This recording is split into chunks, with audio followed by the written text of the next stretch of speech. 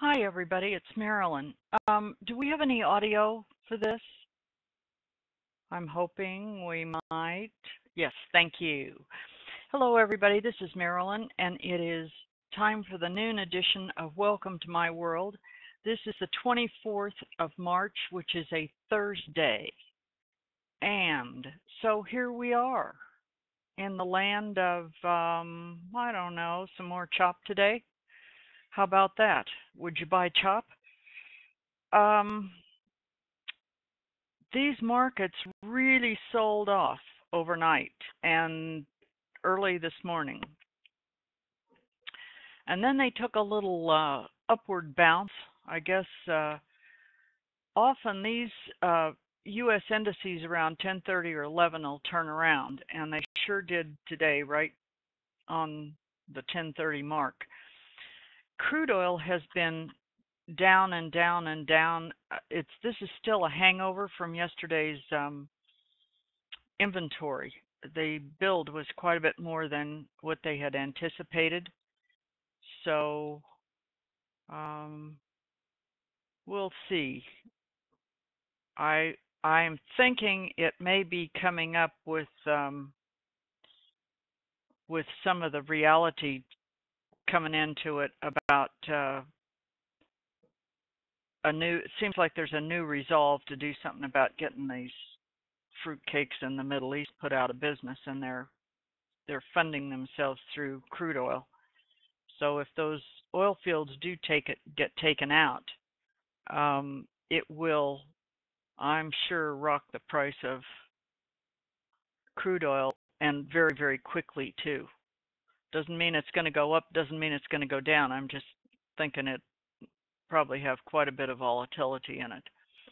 Um, the the trade of the morning, which um, unfortunately I took in demo, but I will show you this because I'm getting more and more enthusiastic about this. Very cool trade. Um, I think Ezra, you wanted to know about my uh, uh, six tick bond chart. Now, you, this until you've practiced peeing a lot, uh, bonds takes them forever to do anything forever. So you do have to have a lot of patience. But what I am discovering is the apex indicators make trading bonds um, pretty darn worth your while. I do not put the um, trend catcher entry mark, these yellow markers. These are, I'll show you where they are. They are right here on the trend catcher and I have everything turned off except for the colors for the lines and the live confirmation. I want the confirmation. I don't care. I mean, I'm smart enough to tell if it's going up or down. I don't need Trendcatcher to tell me that. Um, but I want to know where those entry markers are. So this is how I have that set. And uh, depending on, like this happened at 3:20 in the morning. Well, you know what? That kind of lets me out. But here, when when Bonds put this was about uh, 8:45. It came up here, made this X, and then when I looked at this thing, it was um this sling that had gone way down here.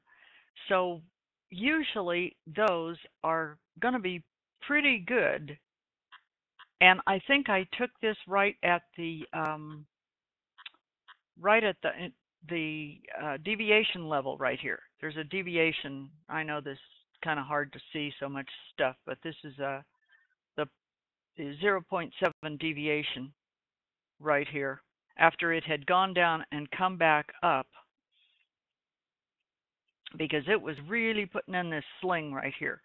So I took it right in here and I, um, my first guesstimate was that I had plenty of room to go to the the next um, deviation level, but when it came, it it really moved fairly quickly, and it will do this sometimes between 8:30 and 9, 8:30 and 9:15, 9:30. All of a sudden, it will move, and then the paint starts drying. But when it came through here, I just kind of trailed the stop, and I think I got out with uh, 15 tick stock out on this. Um, Rob, if you go to your HotComm icon and mouse over it, you'll get uh, the charts that are broadcast. So anyway, uh, this I did not take down, and if you notice, this trend catcher marker right here coincided right here with uh, deviation and then this cell zone painted right here. So I I don't know that it's so important um, that you use one tick away or two ticks or something like you would in the indices. Um, because if you get 10 ticks off of bonds, be happy about it. If you get more, uh, more power to you. But when when you have a, a green E and this one showed up at whatever time, 3.30 or something, and then you got this wonderful C's sling right here, that's a pretty safe uh, trade to take up. And when you get 10 ticks, you can be real, you start tightening that stop up. That's what I did.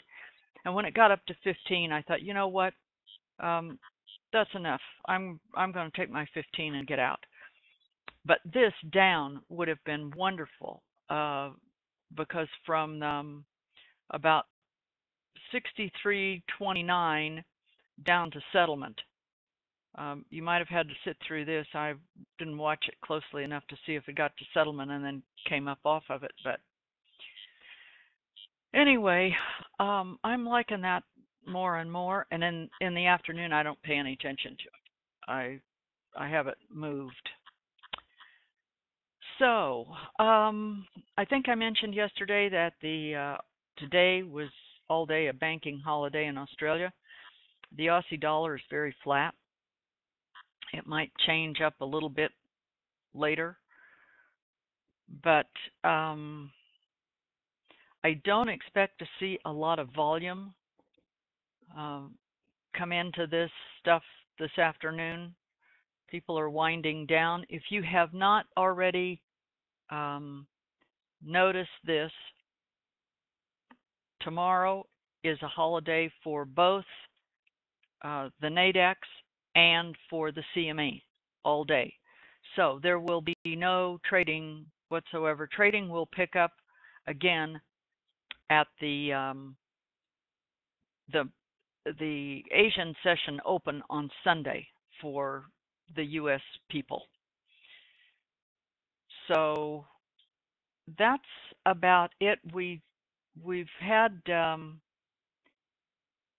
we've had a lot of of chop, and it's this is what happens when there's no volume to speak of. And I know Daryl goes on and on and on about volume, but it, that's well worth paying attention to because it really does matter. It really does matter. So, um, I think that's about it. Monday morning, we don't have a lot. There will be some economic numbers that come out at uh, 8:30, but they're not real huge ones. And then we'll have to wait until later in the week and see. But I can tell you that next, I think Thursday is the last uh, day of the month.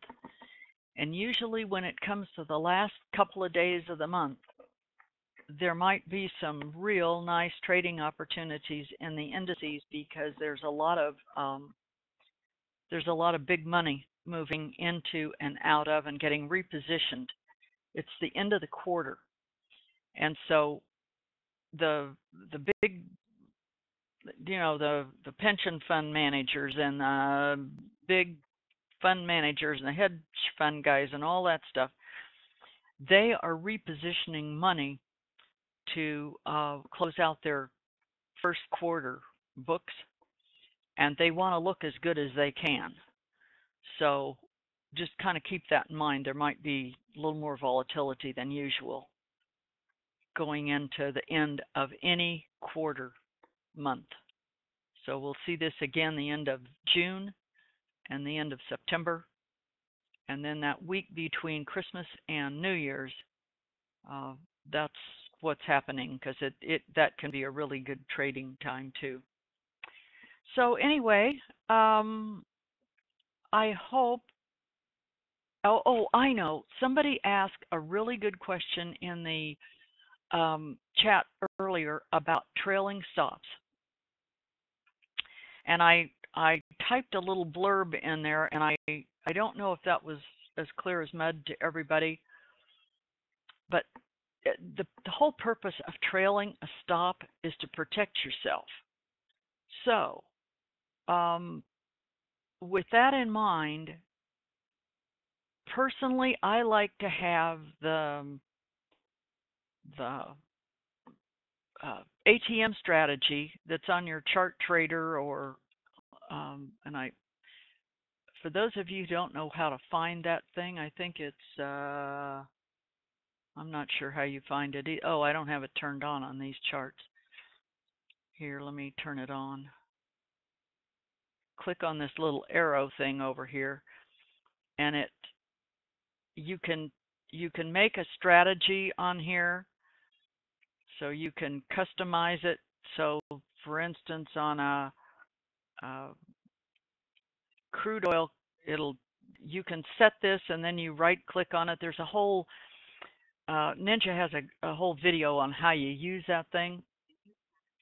But what I like about it is that it shows up on your chart so you can drag those little bubble things and you can move your right on the chart, you can move your stop. So, for instance, if you're going short, um, let's just pick one right here at this E. This is a great E and the MVP and everything's right right here. And once it's cleared this big magnet, then um, you've got a trade. So let's just say you entered three ticks below the E which is about one or two ticks, I think, below this big magnet. And you, I've got a 15 tick stop loss. Okay, if you put your stop loss up here at the top of the E for a little bit and you let it get down here and it keeps going and you see it puts in this X, the first thing you want to do is take that bubble with the stop loss in it and move it down to this magnet. So at least you're at break even. Worst case scenario, you won't take a loss. If you move it down a couple of ticks below there, you want to have some confidence that it's not going to come up and knock you out and then go, of course, typically of what it does goes in your direction. But if you give it enough room till you're comfortable. On crude oil, usually about uh, 12 ticks to break even and 15, maybe a couple of ticks below. And then trail it down with whatever you're comfortable with. Um, Daryl uses the MVP. Well, you know, that's a pretty darn big stop loss for me. I I don't like that. I can't do that. So I'll let it go down here and when it's cleared, uh, the next deviation or the next big magnet or the next whatever it is uh, going northbound here. Once it's cleared, if you if you took this, um, say with the MVP arrow, and you took it, once it's cleared this um, EMA and there's a deviation level right here, then you can move your stop loss right up to that, and it's probably going to at least give you three or four ticks that are protected. And if you notice on Lori's charts when she marks them, she puts where she's been stopped out um, protecting five ticks and protecting 10 ticks or whatever it is that she puts on there. Well, that's what she means. She's moved her stop loss down to protect herself. And the thing came up and hit her when she kind of wished it didn't, but it did. But at least she got out with five ticks. I try to use two because it, it pays the bills. You want two ticks in your favor at least because worst case scenario, you won't take a loss on the trade and you get your trade paid for. Um, this is a business and the exchange uh, charges fees to use their service. So at least you get those fees paid and you're you're clear of all that. So I hope that helps a little bit anyway, I hope everyone has a happy and a safe uh, long weekend and a, a wonderful Easter day. And so we'll all be back here on Monday. I am. I imagine we're going to have some volatility and some volume, which will be more than welcome. Because volume makes the bus driver run. So, anyway, I will see you on Monday about noon. Thanks. This has been my view from my world in Apex land, brought to you by Apex Investing. Thanks.